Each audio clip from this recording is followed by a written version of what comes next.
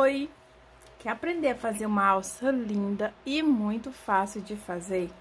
Fica aqui com esse vídeo, fica aqui nesse vídeo que eu vou te ensinar a fazer essa alça maravilhosa, trabalhada e deixa a sua bolsa aí lindíssima.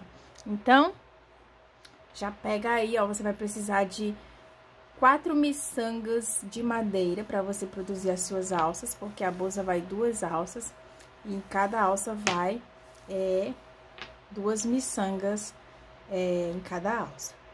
Então, você vai precisar de barbante número 6, quatro pérolas, quatro miçangas de madeira e uma agulha 3,5, tá bom? Vou usar aqui o verde musgo da Textil Piratinica. Então, você vai iniciar a sua alça fazendo uma laçada inicial. E você vai fazer uma, duas correntinhas. Volte aqui na primeira correntinha e faça um ponto baixo. Você vai virar o seu trabalho e vai vir aqui, ó, nessa alcinha aqui, ó, da primeira correntinha. Tá vendo? Só que você vai vir aqui por trás, ó, e vai fazer um ponto baixo.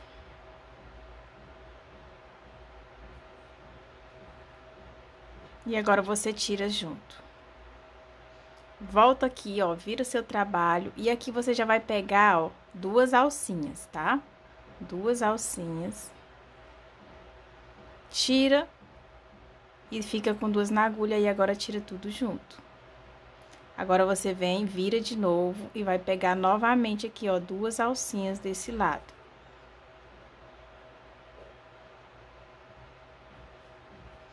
Pegou as duas alcinhas, você vai tirar duas ficar com duas na agulha.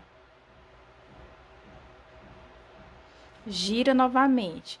E o segredo da alça é só esse, você vai fazer esse movimento. Sempre que você tiver com as duas na agulha, você vai tirar, aí você vai girar e voltar aqui pegar as duas do outro lado. E aqui você vai seguir fazer mais ou menos aí uns 60, 65 centímetros de cordão nesse movimento aqui, ó. Fiz aqui 66 centímetros de, desse cordãozinho aqui. Aqui a gente vai cortar. E puxar aqui, ó. Agora, a gente só coloca a bola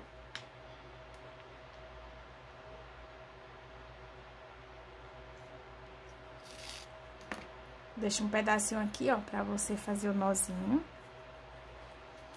Aqui você, eu tô mostrando como é que fica, mas é interessante você já colocar na bolsa, né? Porque ela vai ficar na bolsa.